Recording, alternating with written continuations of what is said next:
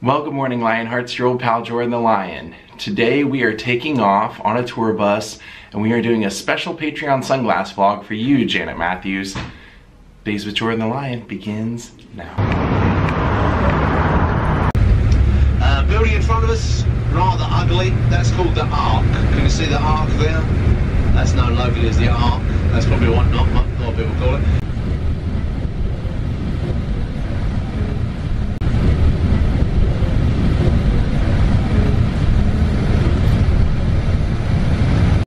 Probably tell the first part of our tour is here in Oxford, where Oscar Wilde went to school. As well as many, many of the British Prime Ministers have went to school in Oxford as well.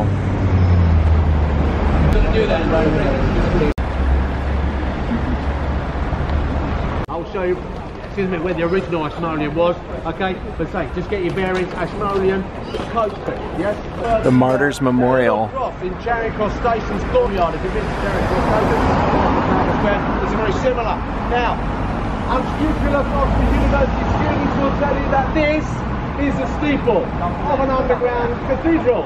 Yes, and if you give me 20 pounds, okay, I'll show you the interior of the cathedral.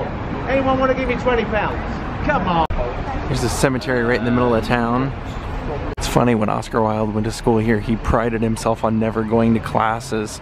He just thought it was like a big waste of his time. And then when he would have the exams, he would ace all the exams. He mainly just wanted to go to Oxford to say that he went there and because he felt like he was a man of the world then. I love seeing all the purple flowers everywhere. Not necessarily today. Okay, just make sure people can means. Nicholas Ridley and Thomas Cranmer. They were all burnt at the stake in the 16th century as part of, I mentioned, Mary I, persecution of Protestants.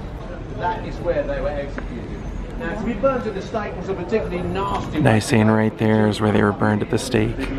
If they liked you, they built a big fire, yes, with dry wood, and then consequently the upside to kill you before the fire. With green wood. So He said she was known as Bloody Mary. it took a long Time to rise, and you'd actually be a very, very painful and slow death. Not a very nice thing to happen to you at all, because they did not stop. Our guide said basically if you want to be like a world leader, just go to school here and 10 years later you're probably gonna be one. This is Balliol College. This is the second oldest of all the colleges. Okay, you can see it is uh, established in 1263. It's named after a gentleman called John Balliol, who's actually the father of a future King of Scotland. Now, all inside they have quadrangles. They also have chapels as well, because obviously in the old days the colleges were religious establishments. Now, this one you can see is open. If you want to go inside, uh, what happens? I go round in a big circle, ladies and gentlemen, and you, you- you'll end up back in this area. This is Trinity. The population of uh, the university here is about 21,000 to about 23,000, depending on where they take. Only 400 students inside Trinity College. This was the original Ashmolean Museum, named after a gentleman called Elias Ashmole. Elias Ashmole actually left the university a cabinet of curiosities. Lots of weird things. Uh, uh, Lawrence Radius of them. Uh, with uh, the, uh, the father of Pocahontas. And also inside the museum today is uh, Einstein's uh, blackboard. Oh wow, they said they have Einstein's blackboard in there. They said it's also the oldest public museum in the world, opening in 1683. Wow, I wish we had time to go in there and check out his blackboard. The equals MC squared board. So ladies and gentlemen, this building is called the Sheldonian Theatre, named after a man called Gilbert Sheldon, who was a former fellow of the university. Now this is used for matriculations, for graduations. It was not used for theatre until 2015. Underneath it, in the original, in the old days, was the Oxford University Press, the oldest publishing company in the world. But when the, there was things going on inside the theatre, the compositors of the publishing company could not do their business. So consequently, they needed a building of their own. So they built this building here, the Earl of Clarendon building. So the Clarendon here, all these beautiful statues on the top. This was built primarily in those days for the Oxford University Press. Wow, check that out.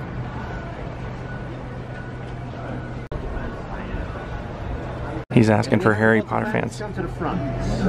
Come to the front, Harry Potter fans. Okay. Because underneath my foot, I have something that might interest Harry Potter fans. Okay. Now, unscrupulous guys will tell you that this is where J.K. Rowling, yes, got the inspiration for the scar on Harry Potter's forehead. Hmm. Now, I'm not an unscrupulous guy, ladies and so I cannot tell you if that is true or not. But one may take my foot away. For those of you who know about the scar on Harry Potter's forehead, then tell me if you think this is where she got her inspiration from.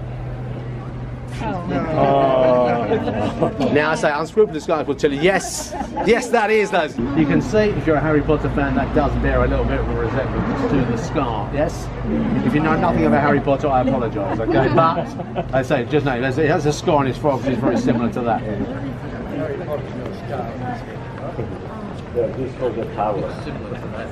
Our guide's got a pretty good sense of humor.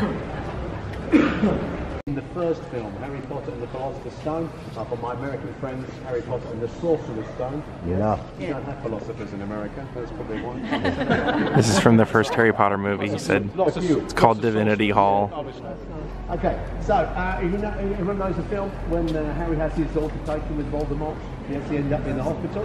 The Divinity Hall was the hospital.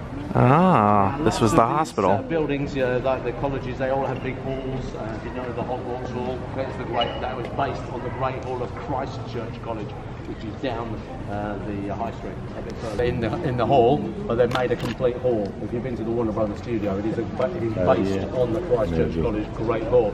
And one of the towers that goes up, one of the uh, one of the, um, the staircases was used in the film.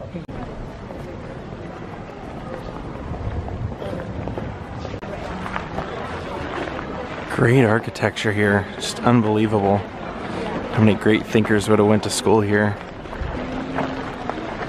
He basically says that Oxford College itself is broken up into many different schools, so most people would consider themselves going to the school less than Oxford itself.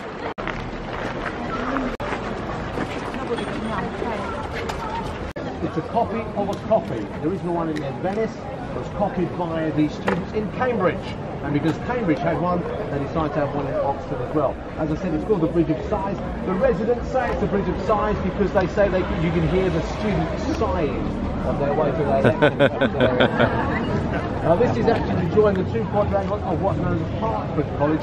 Now Hertford College was discovered in the early 2000s to be the most obese of all the colleges. A fire when Harry's fallen out of everybody. Uh, Draco Malfoy's up the tree, yes, and then Mad Eye Moody turns into, into a ferret. Yes, you know that bit? That tree is the one at the end there. See a new college cloister?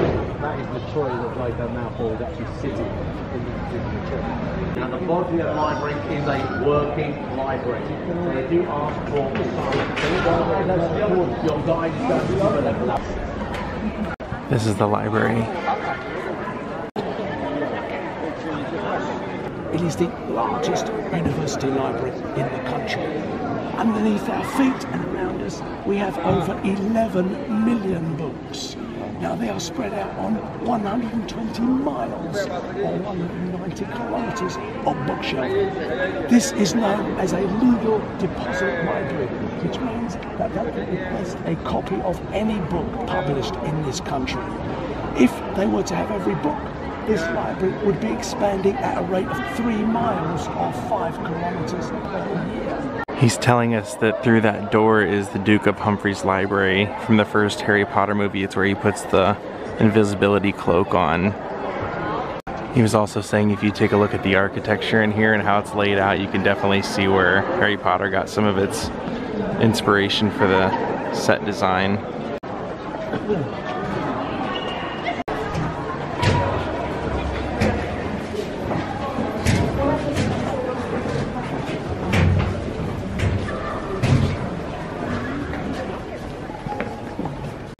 What a beautiful town. Radcliffe Camera. It is not named after Daniel Radcliffe. not that one. Uh, a man called James Radcliffe, who is a former science fellow of the uh, university. Uh, he has a lot to do with science. There is a Radcliffe Observatory Quarter, and this is called the Radcliffe Camera. Camera is Latin for room. This is the science part of the library. So if you have any science queries, then you come here. He just said there's a popular series here called Inspector Morse, and this was Lonsdale College up here. And as an Oscar Wilde fan, this was just an essential to come do, you know? See the town that he went to school in. door knocker. That's what a Brasenose was. Uh, lots of famous people have come here. Uh, David Cameron, yes, previous Prime Minister of this country. Uh, my Australian friends, Malcolm Turnbull, yes, previous Prime Minister of Australia. He also went here. Uh, William Golding, who wrote Lord of the Flies, yes. Uh, and also uh, Michael Palin, yes, Monty Python.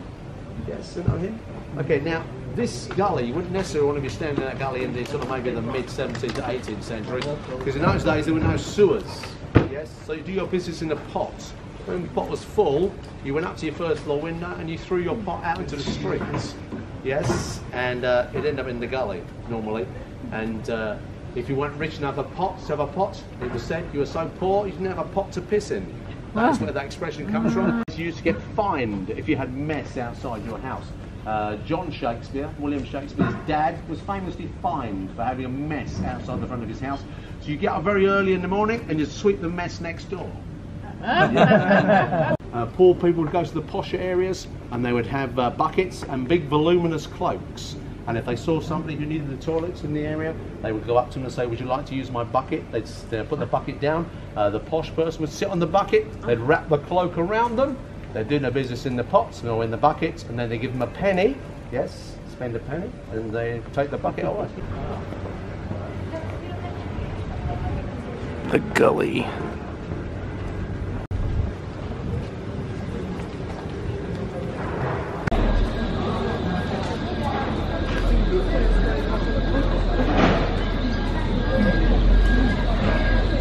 Remember, I said on the coach when we had the teaching of the uh, Protestant priests inside Jesus College, and this one behind us is called Exeter College.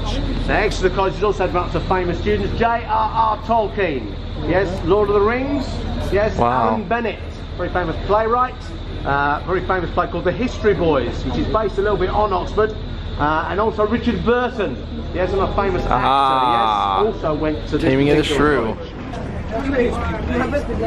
The Oxford College store. The flags have a big gobby in the window. They have lots of Harry Potter memorabilia. You'll also notice they have the, the official mark of the University of Oxford. So they have all the official college and the university stuff inside here. You've about three minutes. Yeah, they've definitely embraced Harry Potter here.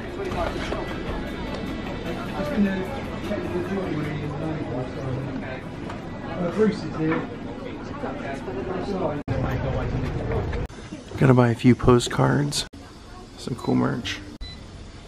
Mr. Bean and the Beatles. So I've now seen about four shops all on the same street that all have Harry Potter stuff. So it's needless to say a lot of people come here just because of the Harry Potter connection. So our time here at Oxford is pretty much done. Let's go hop on the bus.